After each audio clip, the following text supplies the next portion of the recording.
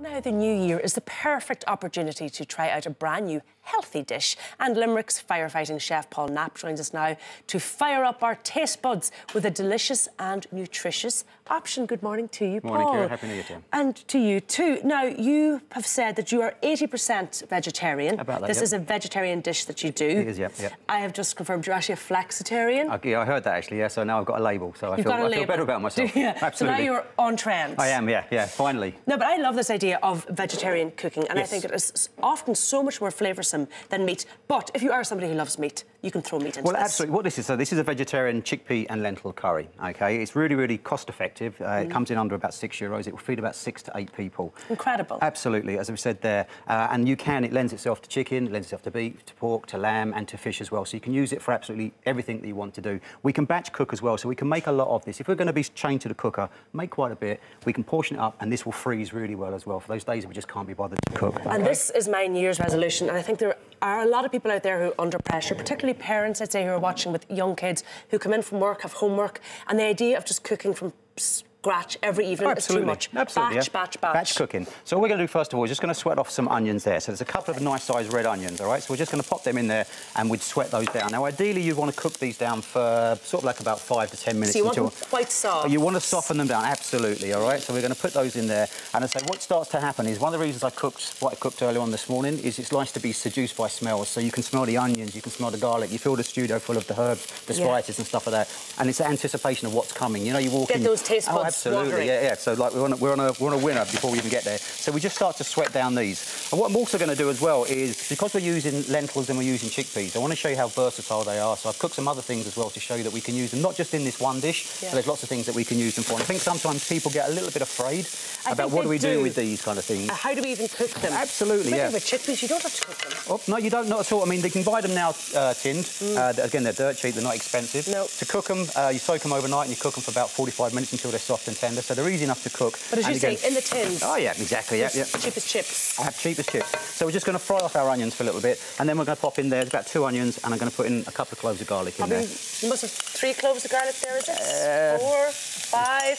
I won't judge you. There's no So such thing as too much garlic. Oh, exactly. But it's down to taste. I'd say the recipe's on TV3's website, uh, and everything that I cook is just a guide. It takes you from A to B. So if you want to put more garlic in, put more garlic in. It's entirely up to yourself. As I say, Okay. there's no rules in my cooking. You can do whatever you want. All right? So the thing I think with curries, and it's a mistake I think I've probably made myself, is not giving the spices and not giving the garlic and not giving the onions enough time. You do have to have a little bit of patience. Yeah, absolutely, An extra yeah. few minutes makes a huge difference. Oh, it does indeed. It? does indeed. As I say, this is being done for TV time, so we're speeding it up. But you should do. You should allow them to start to introduce themselves to each other. You don't just lob them in as a bunch of strangers and expect it to happen. Do you know Okay, what I mean? hello, garlic, Yeah, hello, onions, exactly. this yeah. type of thing. So we just sweat those down. That will be down for about 10 minutes. And what we're going to pop into here now is we're just going to pop in some uh, ground coriander, some ground cumin, some garam masala, some smoked paprika, and some turmeric. We talked about the wonderful anti-inflammatory properties of turmeric earlier on, and we pop all this in. And what I'm going to do is I'm not going to chop the chili. I'm going to put the whole chili in. I've just pierced the skin. So all I'm going to Oh. do, literally, is just give it a little, just give it a little stab. Okay, I'm going to pop that in there. It won't burn the mouth off of you, but it will get that taste of chili, but without that kind of punch at the back of the throat that means Oh, you can't I taste love anything. that idea. And then you can just take it out. To the end of it, absolutely. So we pop in our spices. Now, if you're a confident cook, okay, what you can do is you can leave your spices on the heat, all right? Mm. Uh, be careful that you don't burn them. If you're not a confident cook, take them off the heat, put your spices in, maybe put a lid and just leave it there for a couple of minutes. Again, it's about that introduction of all those spices, okay? So we just pop all those in there and we're just going to fry those off just so they don't get bitter or anything like Okay. that, all right? So we pop those in there. And you just cook that in a little bit of oil, I take Just it. a little bit of oil, yep. You can use any type of oil that you want. So we Okay. just cook that in there. And then all we're going to bang into here now is a couple of tins of chickpeas. Go straight in there as well. Okay. And you right. drain those off. Drain and give them a rinse. And give them a rinse. Yep, absolutely. And I'm just going to put in there a couple of tins of tomatoes go in there as well. Are these just chopped tomatoes, yeah? Now, with your tomatoes, if I was making, say, like a, a pasta sauce with a tomato sauce, I'd kind of up the cost of the tin of tomatoes because you really want to get that tin of tomato taste. But with this, because there's a lot of spices in here as well, I just use the cheaper end of the tomatoes. Oh, I mean- really? oh, yeah. They were, they were kind of next to nothing, like, you know. So that's basically all there is to it. We're going to pop up in there about a quarter of a cup of red lentils, all right? So are they cooked? They are raw as it is, Raw, okay? They're just brilliant. washed, all right? And they're going to cook in this dish because we're going to cook this in the oven for around about half hour or so or something like that till the lentils lentils soften. Now, the lentils are thirsty little people. They need a drink. They're either going to take all my tomato juice, or I'm just going to give about a quarter of a cup of water goes into there as well. So we just pop a quarter of a cup into water there. All right. All in one pan. One pan, no washing up, or less Love. washing up. You can even eat out of this. Love the idea right. of that. Oh, yes, that's what they do in the Mediterranean, isn't Absolutely, it? it's what we do at the And fire then- station as well. And then we pop this in there. We're going to put a little bit of salt in there. All right, I uh, give cookery classes, and I always say to people, the best thing you can do is do the best, do the basics, but the basics really, really well. Yes. All right. So we just give that a light little season, and all we would do is we bring that up to the boil. Now we could leave this on the stove and cook it on the stove, but you have to keep stirring it. I'm lazy. No, All right. So all I'm going to do, time for that. bring it to the boil and pop it into the oven. Now, just remind people, what were the spices again? I put in some cumin, some coriander, some garam masala, some turmeric, and some smoked paprika. Okay. Okay. And I think those are things everybody should just They have should in have their them, spice rack. Just Yeah. buy them and experiment. Exactly. That's the whole thing about cooking. Is it is an experiment. We leave it in there for about you can leave it in there for about half hour, something like that, on about Okay. 180.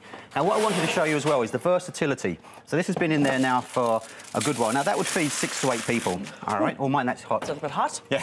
Uh, It's gorgeous. all right, so now what we've got, I just want to show the versatility. This is the chickpea and this is the lentil. All right, Yes. so we've got brown lentils, we've got red lentils and stuff like that. So what I've made is a selection of vegetarian dishes. So we have hummus. We've heard of the chickpea hummus, all right? Love this. This is a sweet potato hummus. So it's 50% sweet potato, 50% chickpea.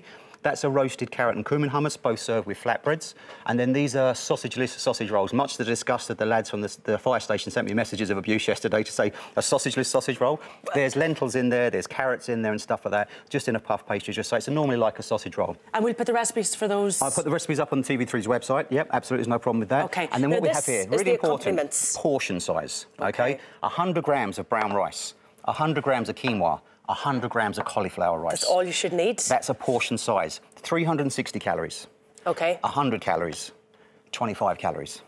That's the cauliflower. That's rice. cauliflower rice. It's just cauliflower florets pureed up into a food processor, cooked in the oven for about 10 minutes, job done. But 25 calories, calories, as opposed to? 360 calories for 100 grams of brown rice. And there's probably more nutrition in that too. There is. This is a, what cauliflower. Cauliflower needs to get the same marketing team as quinoa. You're, Okay. you're ahead of yourself. Sorry. you can do that one as well while you're there. I will Cauliflower indeed. needs to get the same marketing team as quinoa and coriander and, and quinoa and kale because it's phenomenal Okay. for us. Okay. So what we've got here is we've got some of have to the. taste this. Yep. No problems. Just dish up there. Just mind it is hot. Okay. Just mind yourself there. Just. So this is the quinoa that I'm That's trying the it with. quinoa there, and then there's another one here that's just got some brown rice on it as well. Lovely and colourful. Okay. Okay. So mind yourself, it is hot. Mm. What we can do is we can finish that with a little bit of green if you want, if you're a green fan, Lovely. and there's some yogurt that you can serve it with. A little bit of coriander, A little bit it? of coriander. But as I said there, more importantly, look at the size of that for 100 grams. Look at the portion size, and nutritionally, calories. this is phenomenal for you as well. like, you know what I mean? Fantastic, as always, Paul. Your recipes. straightforward, healthy, nutritious. And not too yourself. expensive. Not too expensive. About six euros for the whole of all of that. Wonderful and happy new year And to to you. yourself. We'll see you throughout the year, I have Thanks no very doubt. much. Cheers. Still to come on Ireland Down this morning, we're going to have some top tips on how to detox your skin after all the festive excess with our resident beauty expert Jennifer Rock, aka the Skin Nerd. We'll see you in five.